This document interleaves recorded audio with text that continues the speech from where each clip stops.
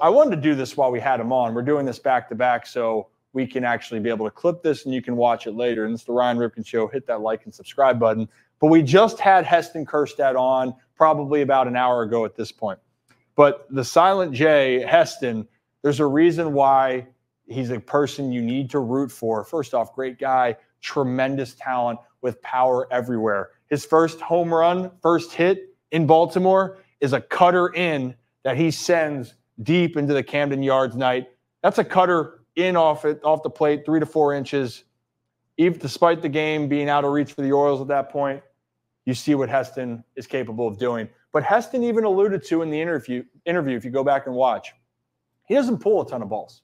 He can, but his strength is the big part of the field. Because when you look at it, a guy that's that big and that strong, why take away the ability to just do this when you can go all this way? And you're actually going to see in the highlights that Heston's home runs that he's hit so far in AAA, a lot of them are the other way. But here's an example. Pitch is going to be well off the plate. And yes, this is going to bloop in. And sometimes you need to be uh, luckier. It's better to be lucky than good. But in this case, he's good and lucky.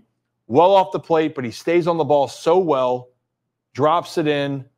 Hey, how are you? Hit him more than not. Turns out to be a double. But I think I'm just trying to prove to people that he has great protection on the outside part of the plate. 94 away, he's not trying to do too much. He hits an absolute bullet to left right here. Again, simple hitting, simple approach, simple swing. And you can see with that leg kick that he has. It's one of those where you sit there and you're like, well, wait a minute, that kind of looks funky. But for me, his leg kick, when we see it go up here, and this is now the games in AAA, by the way, where he just went absolutely, uh, what's the proper way to say this? He just went Ape nuts. shit. Yeah, that's one way to put it. He went nuts. But when you see right here, I just want to say about this leg kick before we show the highlights. He mentioned it. And I said, dude, you know, people sometimes say it looks weird, but for all hitters, you need to have that sensation that you're able to go back, get that balance. And once you can get to this balance point, you can then have so much power going forward. But you got to get to that, you know, I like to call it the hang. You got to have your hang if you have a leg kick like this. He gets to his hang, he gets to his balance position of where he needs to be being back. And as soon as he's able to get to that, he's then able to react and be able to drive the baseball a long way. So here's an example of one of those. That's a homer to left. Again, the power, not trying to do too much. When you're that strong, use the whole field. And this is what makes Heston Kjerstad so damn dangerous is that he can turn a pitch that hitters might or pitchers might think, ah, well, he might be able to get a hit the other way, if worst case. Well, it's like, well, damn, if I leave a pitch like that over the plate, guys like Heston are going to punish me over and over and over again. And I think that's the whole highlight there. I'll keep moving on. And, and he's admiring it, and, and he very well should. Here's the other one left center field. Again, it, it is a hitter's park in Charlotte. And unfortunately, I'll be honest, a guy that didn't take advantage of that ballpark myself.